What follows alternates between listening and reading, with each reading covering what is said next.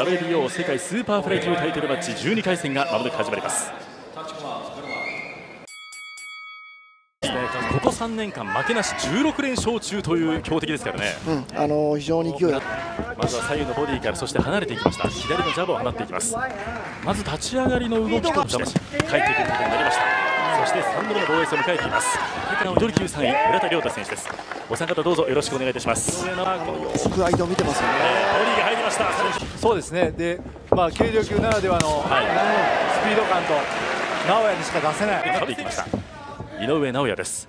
今回神奈川県はここのまず第1ラウンドどういったところ注目されまあ、これはもう1ラウンドの立ち上がりはやっぱり大事ですからね、えー、はいそして川島さんはまず負けじと返してきます。チャレンジャーのペチバンボーンゴーキャットチームです。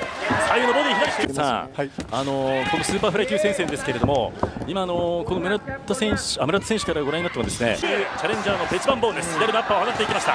飛び込んでのお左ださあコンビネーション。から、えー、これ最高のコンディションで臨んでると思いますね。はい。ジャブ、えー、この左のジャブ、ガードを固めてワンツーを放っていきました。チャンピオンの井上尚弥です。まあ、なんといっても、ね、まずは左のジャブを落ち着いて放っていきます。しっかりと集中した相手を見せる。この第1ラウンド終了のを切って。川島さんいかがでしたでしょうか。まああのー、いろいろ試してるなという印象。今波に乗っている右ボクサータイプです。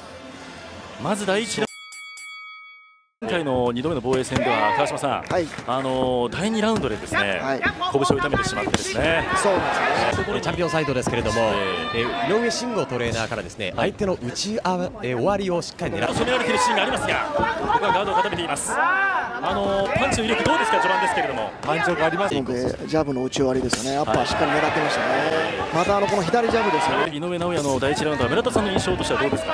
まあ大人の1ラウンドを過ごしたって感じでしたね。あの様子を見て。重たいボディも入れながらそしてアッパーを放っていきます。チャンピオンの井上尚弥。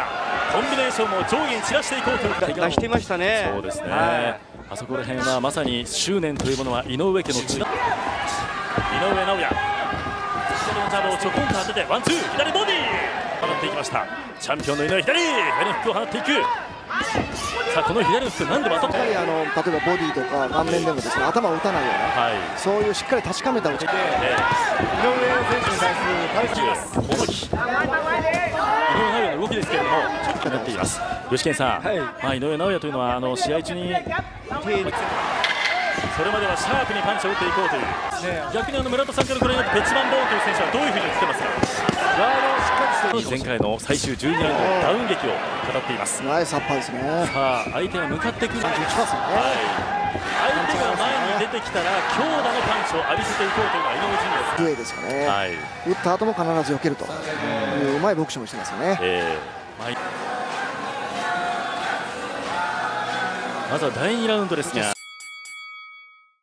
ウンドですが距離を取りながらそして左のジャブを上下に打ち込んで。押しめながらも力いっぱいのパンチを返してくるのが鉄板ボーンです右を放っていきました鉄板ボーン、はい、今具志堅さんからもそのキーワード出ましたけれども自分は気持ちが一番強い。んだと井上と自分とではやはり気持ちでは自分のプレーしながら相手のパンチをかわしてい。きますワンツー直哉の目標はですね具志堅さんの持つ世界タイトルの13回連続防衛のキ戦のキャリア大きく勝ち越してい。るとい。う成績のタイトルもつかみ取ってい。ますさあコンビネーション。まあ、しかしあの具志堅さんガードの硬さというところはセコンド陣をかなり意識しているそうですね。まあ一発もらったら終わってしまうという、えー、そのしっかりと別番ボーンを捉えています。チャンピオンの井上尚弥です。力は大いに持ってますよ、はい、はい、今日のボクシング見たらね、えー、実にうまいでしまって手を出してきますね、はいえ。ーそこら辺は奥が16連勝中というパンチ力を警戒しているペッチマンボールですが。いいと思いましたね迎撃の右アッパーいや左ックを放っていきます鈴木さん、はいどうぞ。そのチャレンジャーサイドはとにかくガードだけは今日はですね。もちろんそのディフェンス攻撃もちろんいいんですけどこのジャブですよね、はい、左フックを結構強振してますよね、左のタイミング村田さん。見事なタイミングですよね。天才としてが言いようのないようなタイミング。で、え。ー、ガードに関するシーンだけは非常に厳しくセコンドから飛んでいます。なるほど。そここ声援もしっかりと耳に届いているはずというのが伺えます。さあ左のジャブから今度はフットワークでチャレンジャーのペチバンポーンです。しかしここに左のジャブを見舞っていくチャンピオンの M です。井上尚弥ここら辺の左のボディを放っていきます。いやこういうことなんですよボクシングにね、えー、スイッチする今のバンテージの巻き方を工夫しまして厚みがあって拳前線からかなりイラつくんじゃないですか自信がないとできない。さん、はい、スイッチしてますけれども、えー、非常に余裕ですよね、クロスの右を。このかぶせるような右のなんといっても KO 率しかも80%を誇る井上尚弥です。しかし気持ちの強さは非常にやはり左ロック。右ストレート放っていく。左ック、うん、右ストレートかなりほぼ意識しているそうなんですけどもね、はい、ガードはいいですよ非常にね、はい、ただこのチャレンジャーね非常に気持ちが強くて、えー、の想定通りにはここまで来てるんでしょうか？どうでしょう？え来てると思いますね、えー、もうちょっとスピードが違いますので、はい、動けばやっぱ相手も強いでこれないと。放っていきました、このコンビネーションに対してガードを固めて左のボタンの防衛はなるか？ナイスジャブ左のジャブから右。ジャブがいいですね。さらにはボディ。頭沈めて左。ちょっと何か気になったんですかね、えー、ちょっとローブローのアピールしたんじゃないですか左のボディを放っていきます。しかし村田さんこれのボディを放っていきます。左のおっと右を返してきました。ペチバンボールです。さすがはしかし相手は手を止めません。ストップここで先ほどの返しと言わんばかりに硬い拳がそして頭を沈めてあここで左左左ジャブ放って最後も相当効いてると思いますよ、そして川島さん今しらっと見られましたけどもあのほどのラウンドですがあの川島さん、はい、井上がガードをほどいたところこれロールアピールしたということですけど、えーそね、そこから連打を浴びせてきたチャレンジ、はい、連打を浴びせてくるという傾向にありますけれども、えー、まあガードでちょっとこう避ける仕草を見せたらです。ねそれもあるのかなと。はい。左のボディを具志堅さん、はい、あれだけのフックを浴びても倒れない。チャレンジャータフですやっぱりくっつくよりもジャブを使った距離を取った方がいいというふうに考えてチャレンジャーのペチバンボーンです。頭をつけてきます。あとちょっと右が数がちょっと井上尚弥です。そしてこの表紙がなるとさらに距離を詰めちょっと僕気になるんですけど、ね、そうですか。あここでラッシュをかけていこうとしました。ペチバン行こうという井上尚弥。しかしコーナーに追い込まれました。ボディを放っていきます。チャレンジャーのペチバンボーンです最後のボディを放っていきましてラッシュをかけていこうというところ。今お互いの腕が交錯して左のジャブを放っていくワンツーを放っていきました。井上尚弥です。右フックを放っていく。右フックだ右フックを何度もなっていく。うなずいたペチバンボーンてますね、えー、左ボディです。大丈夫ですね。上にパンチを浴びせてその後ナックル。のは大丈夫だけど、えー、ですからやはり効果だったら試合中は痛いんですよ。あのパンチ出すときはだから。あそうですか。まあ、戦略上の問題なのかもしれませんが、川島さん、そして。右ですね、えー、右のストレート系を打ってないんですね、はい、ついた時に右のフックが打ってたんですけど、えー、もしかしたらストレートを出してわからないような、えー、ボクシングしてますよね。はい、右、右を出しますからね、チャンピオンの井上尚弥です。まであのしかも井上尚弥はフルで相手を打ち抜いて打ってないですよね、えー、さあ井上ガードを固めていきます。さて具志堅さん、はい、ああのハプニングもですね次々と乗り越えてきた井上尚弥でまた右につなげてきてるんですよね、この左でですね。拳をね、はい、あの痛めてるっていう、えー、あのパンチですよね。そうですね。くっついた時にフックアッパーなんですね、はい、倒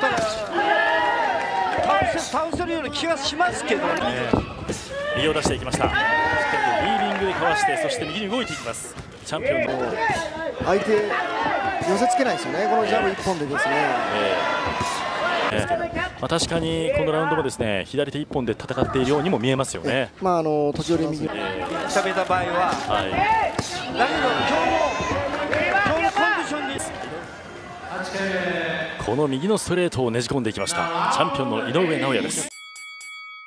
あの仲間を思う気持ち、それがもしかしたらこの気持ちの強さに具志堅さん、ガード、ディフェンスというところが課題なんだというふうに話をしていた井上尚弥です。さあお互いに一番こう相手に3度目の防衛戦に臨んでいる井上尚弥、そトジムですけれども、まあ、かつて井上尚弥が WBC 世界ライトフライ級チャンピオン時代に初防衛戦の相手で挑んだサマートレックゴーキャットジム相手をよく見ています。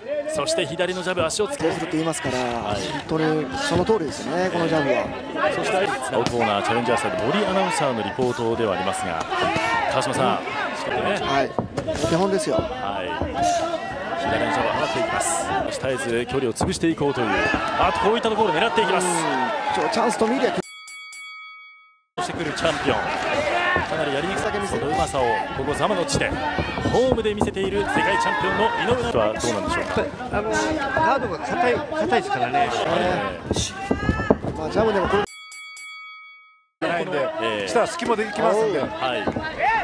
鈴木さん、はい、どうぞ。チャレンジャーサイド改めて話を聞いた。いや前回の試合は12ラウンドを両拳を痛めながらも経験しました。やはり村田さんの見た通りといいますか村田さん、はい、あれそういった中でストレートを放っていきました。後ろに下がった。別番号に対して詰めていく。という話をしています。さあここでまとめていきます。コンパクトにコンビネーションを打ち込んでいますチャレンジャーの別番号ですが井上が次々と手数を出していきます。チャレンジャーサイド森アナウンサーのリポート。まあチャレンジャーはね左のジャブを放っていきます。効い。てる。